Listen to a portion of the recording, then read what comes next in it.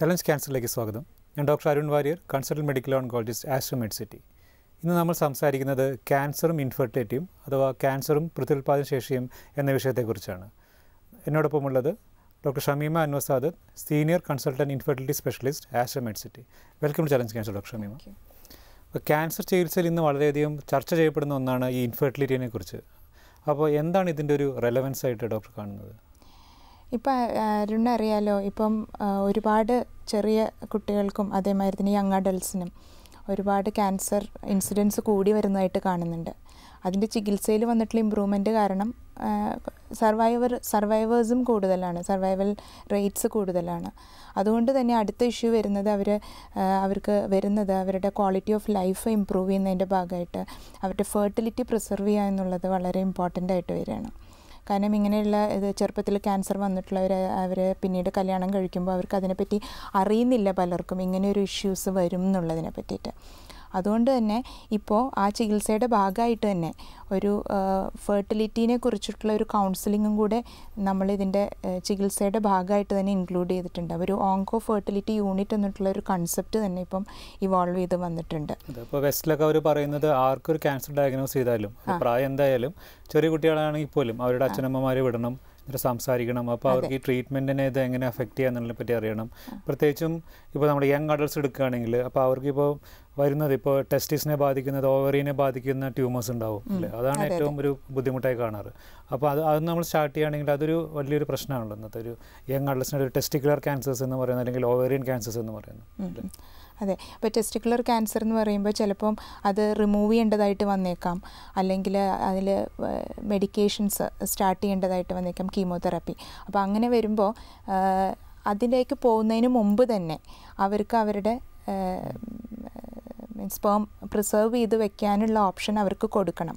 അങ്ങനെയാണെങ്കിൽ multiple samples നമുക്ക് preserve ചെയ്ത് വെക്കുകയാണെങ്കിൽ അവർക്ക് ഭാവിയിൽ അത് യൂസ് ചെയ്യാനായിട്ട് സാധിക്കും. പക്ഷേ ഇതൊക്കെ ഏറ്റവും കൂടുതൽ. ഇപ്പോൾ യങ് അഡൾട്ട്സ് ഇരുപത് മുപ്പതിന്റെ ഇടയ്ക്ക് ഏറ്റവും കോമൺ ആയിട്ട് കാണുന്നതാണ് ടെസ്റ്റിക്കുലർ ക്യാൻസർ അപ്പോൾ അതിന് ക്യൂർ റേറ്റ്സും വളരെ ഹൈ ആണ്. ഓൾമോസ്റ്റ് ഒരു എൺപത് തൊണ്ണൂറ് ശതമാനം ആൾക്കാരും ക്യൂർ ആവുന്നുണ്ട്. അപ്പോൾ ഇതിന്റെ നമ്മുടെ ഏറ്റവും ചലഞ്ച് നമ്മൾ കാണുന്നത് ഡയഗ്നോസ് ചെയ്യുന്ന സമയത്ത് ഇതിനെപ്പറ്റിയുള്ള ഒരു ഡിസ്കഷൻ പലപ്പോഴും ബുദ്ധിമുട്ടായിട്ട് കാണാറുണ്ടല്ലേ? അതെ അതെ. വളരെ ബുദ്ധിമുട്ടാണ്. ആ ഏജിലുള്ള ഒരു കുട്ടികളോട് എസ്പെഷ്യലി പത്ത് കഴിഞ്ഞ ദിവസം ഒരു പേഷ്യന്റ് പതിനെട്ട് വയസ്സുള്ള ഒരു ബോയ് അവർ സാർക്കോമ ഡയഗ്നോസ് ചെയ്തതിന് ശേഷം കീമോ സ്റ്റാർട്ട് ചെയ്യുന്നതിന് മുമ്പായിട്ട് അവരുടെ ഫാദറിന്റെ കൂടെയാണ് വന്നത്. പക്ഷേ അവർ വളരെ കോപ്പറേറ്റീവ് ആയിരുന്നു. അവർ discuss discussions went well and he our preserve ചെയ്യാനായിട്ട് തയ്യാറായി അങ്ങനെ ചെയ്തു വെക്കുകയും ചെയ്തു. അൺഫോർച്ചുനേറ്റ്ലി ആ കുട്ടീനെ നമുക്ക് നഷ്ടപ്പെട്ടു. എന്നാലും ആ, അതുമാതിരിയുള്ള അവയർനെസ് എല്ലാവരുടെ ഇടയിലും കാണാറില്ല. പലപ്പോഴും ഈ കാര്യങ്ങൾ ഡിസ്കസ് ചെയ്യുമ്പം അത് പോട്ടെ അത് അവിടെ നിൽക്കട്ടെ പിന്നീട് ആലോചിക്കാം എന്നുള്ളൊരു അസുഖം എന്താണെന്നുള്ളതാണ് എല്ലാവർക്കും ആ, ടെൻഷൻ വരുന്നത്. ഒരു ടൈം സ്പാൻ അത് വളരെ ഇമ്പോർട്ടന്റ് ആയിട്ടുള്ള ഒന്നാണ്. അതെ. പിന്നെ ഇപ്പോൾ നമ്മൾ ഈ മറ്റേ യങ് ലേഡീസ് നോക്കുകയാണെങ്കിൽ ഇപ്പോൾ ബ്രസ്റ്റ് ക്യാൻസർ ഒക്കെ ആയിട്ട് ആൾക്കാർ വരാറുണ്ട്. അപ്പോൾ അതിൽ യങ് ഏജിൽ നമ്മൾ കൂടുതലായിട്ട് കാണുന്നുണ്ടല്ലോ? ഒരു ഒരു ഗൈനക്കോളജിസ്റ്റ് ഡോക്ടർ ഷമീമ കാണുന്നുണ്ടോ? യങ് ഏജ് ഗ്രൂപ്പിൽ കൂടുതലായിട്ട് വരുന്നുണ്ട്. വളരെ യങ് ഏജിൽ ഇരുപത്തിമൂന്ന് വയസ്സ് വരെയുള്ള ഏജിൽ വരെയും ഇപ്പോൾ കഴിഞ്ഞ ദിവസം ഒരു ബ്രസ്റ്റ് ലംബായിട്ട് വന്നിട്ട് അത് ക്യാൻസറസ് ആണെന്ന് കണ്ടുപിടിച്ചു. അപ്പം ഇപ്പം നമ്മുടെ നാട്ടിൽ ഇൻസിഡൻസ് ഓഫ് ക്യാൻസർ വളരെയധികം കൂടി വരികയാണ്.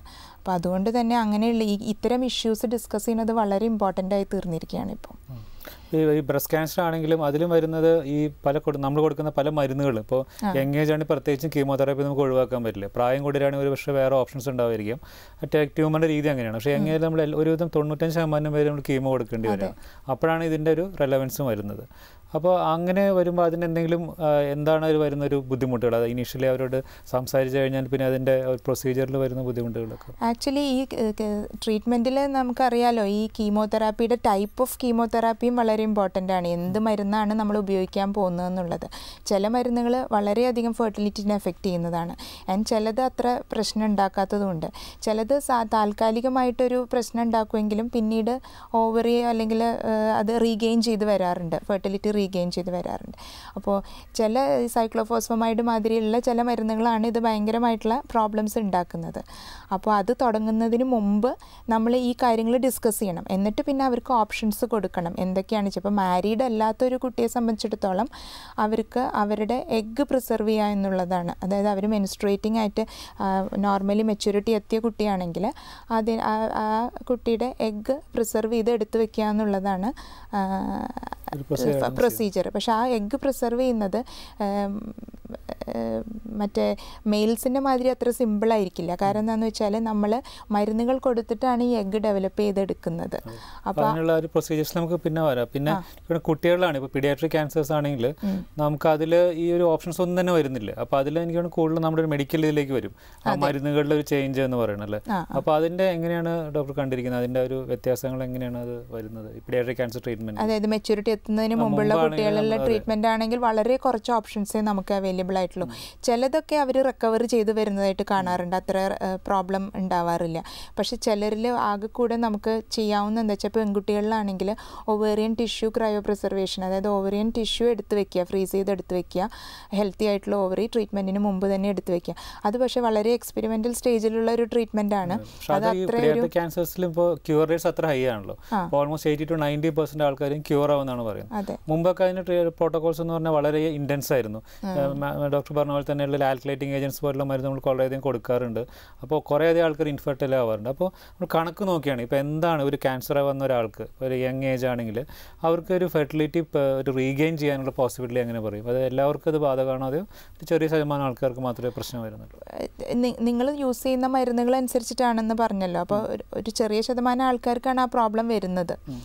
പക്ഷെ അങ്ങനെയുള്ളവരെ അഡ്രസ്സ് ചെയ്യാന്നുള്ളതാണ് അപ്പം നിങ്ങൾക്ക് എന്തെങ്കിലും മരുന്നുകൾ ഇപ്പോൾ പുതിയ മരുന്നുകൾ ഇത്ര അത്ര എഫക്റ്റ് ചെയ്യാത്ത മരുന്നുകൾ ഉണ്ടെങ്കിൽ അത് ചൂസ് ചെയ്യാന്നുള്ളതാണ് സ്ട്രാറ്റിഫിക്കേഷൻ എന്ന് പറയും. ഇപ്പോൾ പിഡിയാട്രിക് ക്യാൻസേഴ്സ് ഒക്കെ ആണെങ്കിൽ ഇപ്പോൾ കുറേ കൂടി നമ്മൾ അതിനെ ഓരോ low low risk intermediate high risk എന്ന് പറഞ്ഞ് കൊടുക്കാറുണ്ട്.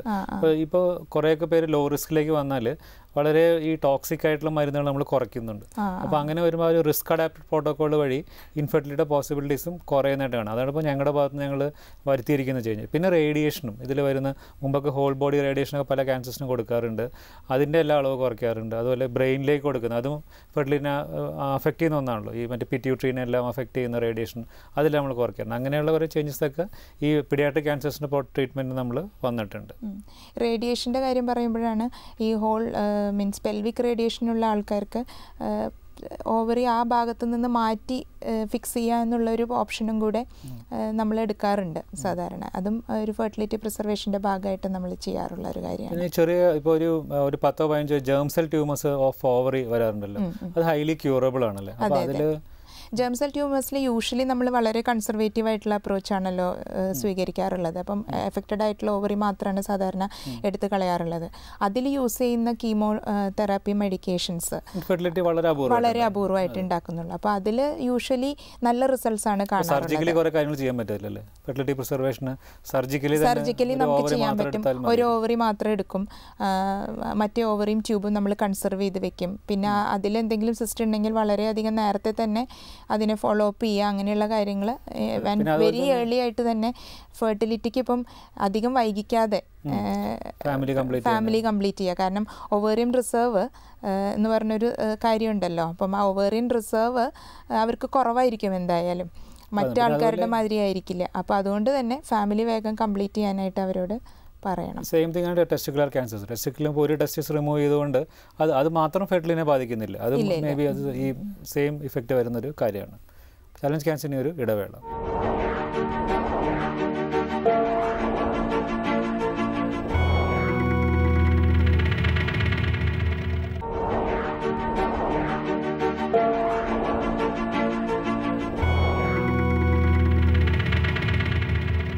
ചലഞ്ച് ക്യാൻസറിലേക്ക് നമുക്ക് തിരിച്ചു വരാം. ഇപ്പോൾ നമ്മൾ ക്യാൻസറും ഇൻഫെർട്ടിലിറ്റി എന്ന ടോപ്പിക്കിനെ കുറിച്ചാണ് ചർച്ച ചെയ്തുകൊണ്ടിരുന്നത്. അതിൽ നമ്മൾ ഏകദേശം ഏതൊക്കെ ക്യാൻസറിൽ പ്രശ്നങ്ങൾ വരുന്നു അല്ലെങ്കിൽ എന്തൊക്കെയാണ് അതിന്റെ രീതികളെന്ന് നമ്മളൊന്ന് ബ്രോഡായിട്ട് പറഞ്ഞു. പിന്നെ നമ്മൾ സാധാരണ ഹോസ്പിറ്റലിൽ കാണുന്ന ഒന്നാണ്. ഒരു മുപ്പതോ മുപ്പത്തഞ്ചോ വയസ്സുള്ള ഒരു ലേഡി ബ്രസ്റ്റ് ക്യാൻസറായിട്ട് വരുന്നു. ചിലപ്പോൾ അവർ ഫാമിലി സ്റ്റാർട്ട് ചെയ്തിട്ടുണ്ട് ഉണ്ടാവില്ലേ. നമ്മൾ കാണുന്ന സിറ്റുവേഷൻ ആണല്ലേ. അപ്പോൾ അങ്ങനെ ഒരാൾ വരുമ്പോൾ അവരെ എന്താണ് അവർക്ക് കൊടുക്കുന്ന? ഫസ്റ്റായിട്ട് അവരെങ്ങനെയാണ് കൗൺസിൽ ചെയ്യാറ്?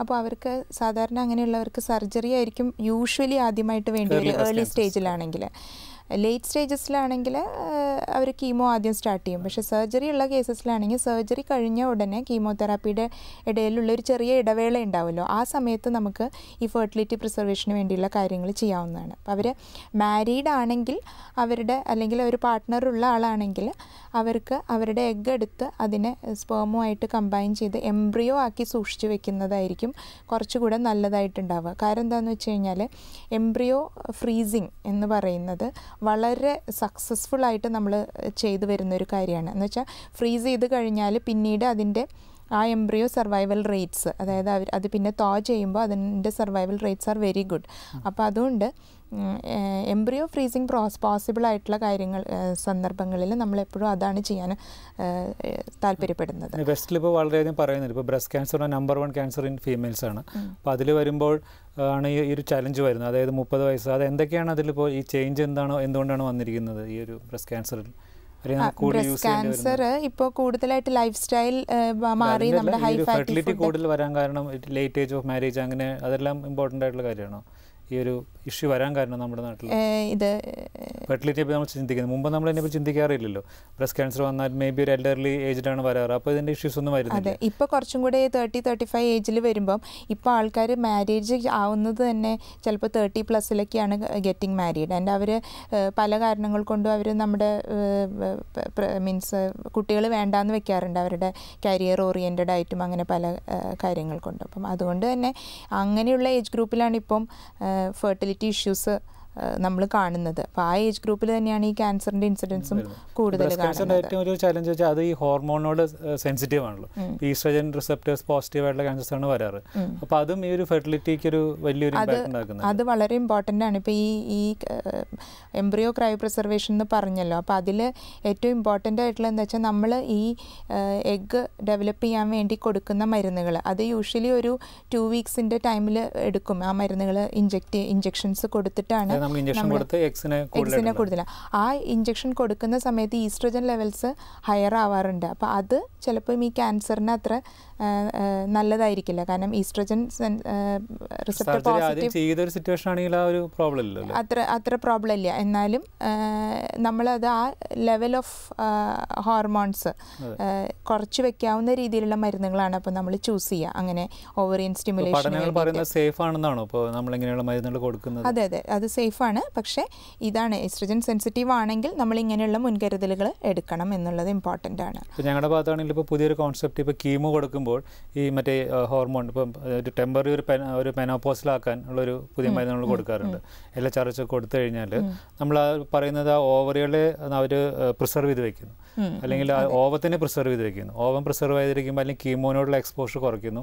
അങ്ങനെ കുറേ പുതിയ രീതികളും ഈ മേ ബി കഴിഞ്ഞ രണ്ടോ മൂന്നോ വർഷമായിട്ടാണ് ഞങ്ങളത് കൊടുത്തുകൊണ്ടിരിക്കുന്നത്. ഇപ്പോൾ പ്രീ മെനോപോസിലെ ആൾക്കാർക്ക് കീമോന്റെ കൂടെ തന്നെ അങ്ങനെ മരുന്ന് കൂടി കൊടുത്തു കഴിഞ്ഞാൽ ചാൻസ് ഓഫ് ഫെർട്ടിലിറ്റി മോറാണെന്ന് പറയുന്നത് ആ അങ്ങനെയുണ്ട്. പക്ഷെ അത് മുഴുവനായിട്ട് അത്ര പ്രൂവണ പ്രൂവൺ അല്ലെങ്കിലും അത് ചില കേസസിൽ നമുക്കത് ട്രൈ ചെയ്യാവുന്നതാണ്. അതായത് ഓവറിയൻ ആക്ടിവിറ്റി കുറച്ച് വെക്കുക. അപ്പോൾ സോ ദാറ്റ് ഈ കീമോ മെഡിക്കേഷൻസ് ആക്റ്റീവായിട്ടുള്ള സെൽസിലാണല്ലോ അതും കൂടുതൽ ആക്ഷൻ വരുന്നത്. അപ്പോൾ അതുകൊണ്ട് തന്നെ അതിനെ ഇനാക്റ്റീവായിട്ട് കുറച്ച് നാൾ വെക്കുന്നത് ഹെൽപ്ഫുള്ളായിട്ട് ആയിട്ട് കാണാറുണ്ട്. പക്ഷെ അതൊന്നും ഒരു ഫുൾ പ്രൂഫ് മെത്തേഡ് ഒന്നുമല്ല. ഈ കീമോതെറാപ്പി കൊടുക്കുമ്പോൾ വരുന്ന മെയിൻ പ്രശ്നം ഒരു മെനോപോസിലാവുന്നുള്ളതാണല്ലേ അത് അതിന്റെ ചാൻസസ് എങ്ങനെയാണ്? ഏജ് അനുസരിച്ചിട്ട് അതിന് ചേഞ്ചസ് ഉണ്ടോ? അതെ. യങ്ങർ ഏജിലാണെങ്കിൽ അത് ആ ഒരു പ്രോബ്ലംസ് അത്ര കാണാറില്ല. പക്ഷേ ലേറ്റർ ഏജിൽ ഇപ്പോൾ ഒരു തേർട്ടി ഫൈവ് പ്ലസ് ഉള്ളൊരു ആൾക്കാണ് കീമോ കൊടുക്കുന്നതെങ്കിൽ അവർ നേരത്തെ മെനോപോസിലേക്ക് പോകുന്നതായിട്ട് കാണാറുണ്ട്. കീമോ കൊടുക്കുമ്പോൾ പലപ്പോഴും പീരീഡ് സ്റ്റോപ്പ് അപ്പോൾ നമ്മൾ പറയാറുണ്ട് ഒരു ഫോർട്ടിയുടെ മോഡലാണെങ്കിൽ പീരീഡ്സ് റിക്കവർ ചെയ്യാനുള്ള പോസിബിലിറ്റി ഒരു ട്വന്റി പെർസെന്റ് എന്ന് പറയും. ഒരു തേർട്ടി ടു ഫോർട്ടി ആണെങ്കിൽ മോർ ദാൻ ഫിഫ്റ്റി പെർസെന്റ് ആൾക്കാർക്കും റുട്ടീൻ കീമോ ബ്രസ്റ്റ് ക്യാൻസർ കൊടുക്കുന്ന കീമോ പീരീഡ്സ് റിക്കവർ ചെയ്യാറുണ്ട്. അപ്പോൾ ഈ ഒരു മെനോപോസ് ആവുന്നതും ഒരു മെയിൻ ഇഷ്യൂ ആണല്ലേ? അതെ അതെ. മെനോപോസ് ആവുന്നതോടുകൂടി സ്ത്രീകളുടെ ആരോഗ്യ കാര്യങ്ങൾ പലതും ഇതാവുന്നല്ലേ ബോൺ ഹെൽത്ത് ഹാർട്ട് ഹെൽത്ത് ഇതെല്ലാം ഇമ്പോർട്ടന്റ് ആണ്. മെനോപോസ് ആവുന്നതോടുകൂടി അതെല്ലാം എഫക്റ്റഡ് ആവും സിംറ്റംസ് വളരെ കൂടുതലായിട്ട് കാണാറുണ്ട് അങ്ങനെയുള്ള ആൾക്കാർക്ക്. മെനോപോസൽ സിംറ്റംസും അതെ ഹോർമോൺ കൊടുക്കാനും നമുക്ക് പറ്റാറില്ല അതെ. അപ്പോൾ ഇതൊക്കെയാണ് നമുക്ക് ആ ബ്രസ്റ്റ് ക്യാൻസർ ഉള്ളത് അപ്പം ആ ലേഡി മാരീഡ് അല്ലെങ്കിലാണ് ഇനി അടുത്ത ഇഷ്യൂ വരുന്നത്. മാരീഡ് അല്ലെങ്കിൽ പിന്നെ നമുക്ക് ഓപ്ഷൻ ഉള്ളത് അവരുടെ എഗ്ഗ് എടുത്തു വെക്കുക എന്നുള്ളതാണ്. അതായത് എംബ്രിയോ ആക്കാതെ എഗ്ഗ് തന്നെ ഫ്രീസ് ചെയ്യുക. എഗ് ഫ്രീസിങ്ങും തരക്കേടില്ലാത്ത സക്സസ് റേറ്റ് തന്നെയാണ്. എംബ്രിയോ ആണെങ്കിൽ നമുക്ക് നല്ല സെവന്റി പെർസെന്റ് സക്സസ് റേറ്റ് ഒക്കെ കിട്ടാറുണ്ട്. പക്ഷേ എഗ് ആണെങ്കിൽ ഇപ്പം നല്ല സെന്റേഴ്സിലാണെങ്കിൽ നല്ല ലാബ് ഫെസിലിറ്റീസിലാണെങ്കിൽ ഏകദേശം ഒരേമാതിരിയുള്ള റേറ്റ്സ് തന്നെയാണ് പറയുന്നത്. പക്ഷേ എന്നാലും അത് അതിനേക്കാളും ടൈം ടെസ്റ്റഡ് ആയിട്ടുള്ള മെത്തേഡ് എംബ്രിയോ ക്രയോ പ്രിസർവേഷൻ തന്നെയാണ്. ഈ ട്രീറ്റ്മെന്റിന് കുറേ സമയം എടുക്കും. ഇപ്പോൾ ബ്രസ്റ്റ് ക്യാൻസർ ആണെങ്കിൽ ഒരു മേ ബി അവർക്ക് അത് കഴിഞ്ഞിട്ട് നമ്മൾ ചില ടമോക്സിഫിനൊക്കെ കൊടുക്കും. അപ്പോൾ മേ ബി ഒരു അഞ്ചോ ആറോ വർഷങ്ങൾ അവർ മരുന്ന് കഴിക്കേണ്ടി വരും. ആ സമയത്ത് നമുക്ക് പ്രഗ്നൻസി പറ്റുന്നില്ല. ഇല്ല. അതൊരു പ്രോബ്ലം അത്രയും കാലം ഇത് സൂക്ഷിക്കാൻ പറ്റാറുണ്ടോ? അതെ അതെ. ഇപ്പോഴത്തെ എച്ച് എഫ് എ റെഗുലേഷൻസ് അനുസരിച്ചിട്ട് ടെൻ ഇയേഴ്സ് വരെ നമുക്കത് സൂക്ഷിച്ചു വെക്കാം. അതുകൊണ്ട് ഒരു വ്യത്യാസവും വരുന്നില്ല. ഇത് ലിക്വിഡ് നൈട്രജൻ ടാങ്കുകളിലാണ് സൂക്ഷിച്ചു വെക്കുന്നത്. അപ്പം അത് അവിടെ ഇരുന്നോളും. പിന്നെ നമുക്ക് എപ്പോഴാണ് ആവശ്യം എന്ന് പറഞ്ഞു. അഞ്ച് വർഷം കഴിഞ്ഞിട്ടാണെങ്കിൽ അതായത് ഈ- ഈ ലേഡിയുടെ സർവൈവൽ അവർ ക്യാൻസർ സർവൈവൽ റേറ്റ്സും ഇമ്പോർട്ടന്റ് ആണല്ലോ. എന്നിട്ടാണല്ലോ അവർക്ക് പ്രഗ്നൻസിയെക്കുറിച്ച് ചിന്തിക്കേണ്ടത്. അപ്പോൾ അതുകൊണ്ട് തന്നെ അഞ്ച് വർഷം ഫോളോ അപ്പ് ഒക്കെ കഴിഞ്ഞ് അവർ നല്ല നോർമൽ ഇതിലേക്ക് നോർമൽ ഇതിലേക്ക് വന്നതിന് ശേഷം നമുക്ക് പ്ലാൻ ചെയ്തിട്ട് അതിനെ ട്രാൻസ്ഫർ ചെയ്യാം. ആ എംബ്രിയോനെ നമുക്ക് യൂട്രസിലേക്ക് ട്രാൻസ്ഫർ ചെയ്യാം. ആ സമയത്ത് അധികം മരുന്നുകളുടെ ആവശ്യം വരുന്നില്ല. യൂട്രസിന്റെ ലൈനിങ് പ്രിപ്പയർ ചെയ്തതിന് ശേഷം ഉള്ളിലേക്ക് എംബ്രിയോ ഇട്ട് കൊടുക്കുക എന്നുള്ളതാണ് ചെയ്യുന്നത്. ചിലർക്ക് ഇപ്പോൾ മെനോപോസിൽ ആയിട്ടില്ലെങ്കിൽ അവർക്ക് ആ ഒരു പോസിബിലിറ്റി ഉണ്ടല്ലോ. മേ ബി ഒരു തേർട്ടി പെർസെന്റ് ആൾക്കാർക്ക് മേ അവർക്ക് അവർ റീഗെയിൻ ചെയ്തേക്കാം. ചലഞ്ച് ക്യാൻസറിന് ഒരു ഇടവേള.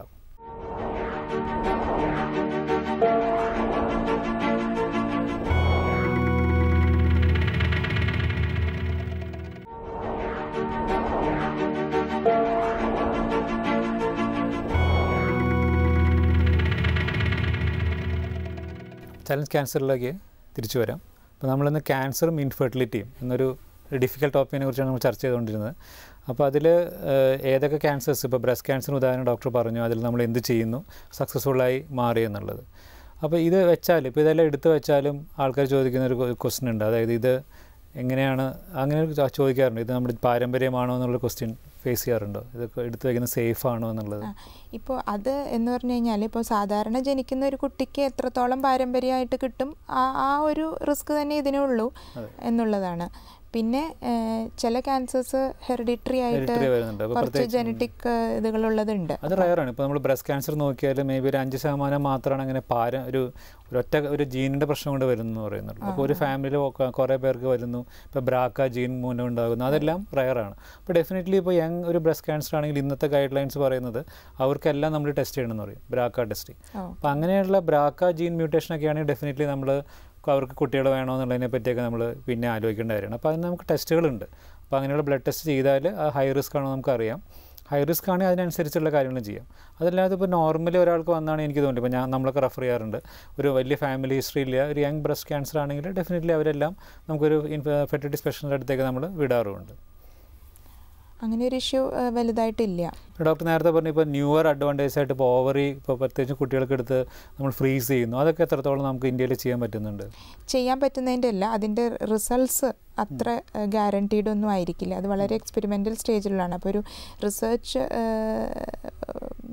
സെന്റേഴ്സിലാണ് കൂടുതലായിട്ട് അത് ചെയ്തു വരുന്നത്. സമയം കൊണ്ടാണല്ലോ ചേഞ്ച് ഇപ്പോൾ മേ ബി ഒരു പതിനഞ്ച് വർഷം മുമ്പാണെങ്കിൽ നമ്മൾ ഇത്രയൊന്നും എംബ്രിയോ പ്രിസർവേഷൻ ചെയ്തിരുന്നില്ല. ഇപ്പോൾ വളരെ കോമൺലി എറണാകുളത്ത് തന്നെ പല ഹോസ്പിറ്റലും ചെയ്യുന്ന ഒന്നാണ് അതെ അതെ അതെ. മേ ബി ഒരു പത്ത് കൊല്ലം കഴിയുമ്പോൾ അതിനേക്കുള്ള ടെക്നോളജിയിലേക്ക് പോകുമായിരിക്കും. അതെ അതെ. പിന്നെ അത് വളരെ അതിന്റെയുള്ള ഇമ്പ്രൂവ്മെന്റ്സ് നമ്മൾ നമുക്ക് ഡേ ടു ഡേ ഇമ്പ്രൂവ്മെന്റ്സ് വന്നുകൊണ്ടിരിക്കുകയാണല്ലോ അപ്പം നമുക്ക് പ്രതീക്ഷിക്കാം. ഉടനെ തന്നെ അങ്ങനെയുള്ള കാര്യങ്ങളൊക്കെ വളരെ സക്സസ്ഫുൾ ആയിട്ട് ചെയ്യാൻ പറ്റട്ടെ. പിന്നെ മരുന്നുകളുടെ ഭാഗത്താണെങ്കിൽ നമ്മളും ഈ കീമോന്റെ എല്ലാം നമ്മൾ നേരത്തെ പറഞ്ഞ റിസ്ട്രാറ്റിഫിക്കേഷൻ വഴി അതിന്റെ ഇന്റൻസിറ്റി കുറച്ചു. ഇപ്പോൾ ന്യൂവർ മോണോക്ലോണൽ ആന്റിബോഡീസ് എല്ലാം വരുമ്പോൾ ഇതൊന്നും കാര്യമായിട്ടുള്ളൊരു ഈ ടോക്സിറ്റി ഉണ്ടാക്കാത്ത ഒന്നാണ് അപ്പം അങ്ങനെ അത്തരം ടോക്സിസിറ്റി ഫെർട്ടിലിറ്റീനെ എഫക്റ്റ് ചെയ്യാത്ത രീതിയിലുള്ള ഡ്രഗ്സിനെ കണ്ടുപിടിക്കുകയും അല്ലെങ്കിൽ അതിനെ അതിലേക്ക് തിരിയുകയും ചെയ്യുന്നത് ഇതിനെ ഹെൽപ്പ് ചെയ്യും. ആ ഒരു കൺസേൺ എപ്പോഴും ഉണ്ടായിരിക്കണം എന്നുള്ളതാണ്. ഈ യങ് ഏജിലുള്ള ആൾക്കാരെ ട്രീറ്റ് ചെയ്യുമ്പോൾ. ഐ തിങ്ക് ഒരു മെയിൻ ചേഞ്ച് വന്നിരിക്കുന്നു. ഇപ്പോൾ ഇപ്പോൾ ലുക്കീമിയാസ് അല്ലെങ്കിൽ മറ്റേ ടെസ്റ്റിക്കുലർ ക്യാൻസേഴ്സ് നമുക്കൊന്നും ചെയ്യാൻ പറ്റില്ല. പക്ഷേ ബ്രസ്റ്റ് ക്യാൻസർ ഡെഫിനറ്റ്ലി ലൈഫ് സ്റ്റൈലിലും ഈ ഒരു ഇമ്പാക്റ്റ് ഉണ്ടാക്കുന്നുണ്ട് ഈ ഫെർട്ടിലിറ്റി കാരണം അതിലാണല്ലോ ഏറ്റവും അധികം കോമൺ ആയിട്ട് കാണുന്നത്. അപ്പോൾ അതിലൊരു എന്താണ് അതിലൊരു നമുക്ക് എന്താണ് നമുക്ക് ചെയ്യാൻ പറ്റുന്ന ഒരു കാര്യം ആ ഒരു കുറയ്ക്കാനായിട്ട് ഇൻസിഡൻസ് ബ്രസ്റ്റ് ക്യാൻസർ സാധാരണ ഇപ്പം പണ്ടൊക്കെ വെസ്റ്റേൺ വേൾഡിലായിരുന്നു കൂടുതലായിട്ട് കണ്ടിരുന്നത്. ഇപ്പം നമ്മുടെ നാട്ടിൽ വളരെ ചെറുപ്പത്തിൽ തന്നെ കണ്ടു തുടങ്ങിയിട്ടുണ്ട്. തീർച്ചയായിട്ടും ഹൈ ഫാറ്റി ഫുഡ് എക്സസൈസ് ഇല്ലായ്മ അങ്ങനത്തെയൊക്കെയുള്ള കാര്യങ്ങൾ അതിൽ ഇമ്പോർട്ടന്റ് ആണ്. പിന്നെ അതുകൂടാതെ നമുക്ക് ഫാമിലി ഹിസ്റ്ററി ഒക്കെ ഉള്ള ആൾക്കാർക്ക് നേരത്തെ തന്നെ അത് കണ്ടുപിടിക്കാനുള്ള മെത്തേഡ്സ് ഇന്ന് അവൈലബിൾ ആണ്. അപ്പം ഇത് വന്നാലും അത് നേരത്തെ കണ്ടുപിടിക്കുകയാണെങ്കിൽ സർവൈവൽ റേറ്റ്സ് വളരെ കൂടുതലാണല്ലോ. അപ്പോൾ സ്ക്രീനിങ് വളരെ ഇമ്പോർട്ടന്റ് ആണ്. സർവിക്സ് ക്യാൻസർ അതുപോലെ തന്നെയാണ്. അതിലും ഇപ്പോൾ നമുക്ക് വാക്സിനേഷൻസ് എല്ലാം വന്നിട്ടുണ്ടല്ലോ. അതും പക്ഷേ ഈ ഫെർട്ടിലിറ്റിനെ വളരെയധികം ഇമ്പയർ ചെയ്യുന്ന ഒന്നാണ്. സാറിന് സർവീസ് ക്യാൻസർ എല്ലാം സർജറിയും റേഡിയേഷനും വേണ്ടി വരും. അപ്പോൾ അതിന്റെ അളവ് കുറയുന്നത് ഹെൽപ്പ് ചെയ്യുമല്ലോ വാക്സിനേഷനും കാര്യങ്ങളെല്ലാം? അതെ അതെ. സർവിക്സ് ക്യാൻസർ ഒരു പരിധി വരെ ഇപ്പം കുറഞ്ഞിരിക്കുന്നത് ഈ സ്ക്രീനിങ് മെത്തേഡ്സ് ഒക്കെ ഇമ്പ്രൂവ് ചെയ്തതുകൊണ്ടാണ്. പാപ്സ്മിയർ അല്ലെങ്കിൽ സെർവൈക്കൽ സ്മിയർ എന്ന് പറയുന്ന ഇത് ഈ പണ്ടൊക്കെ ആൾക്കാരത് വളരെ വിമുഖത കാണിച്ചിരുന്നെങ്കിലും ഇന്ന് ആൾക്കാർക്ക് അത് പറയുമ്പോൾ വേഗം മനസ്സിലാവുന്നുണ്ട്. അവർ റെഗുലർ റുട്ടീൻ സ്ക്രീനിങ്ങിന് വരുന്നുണ്ട്.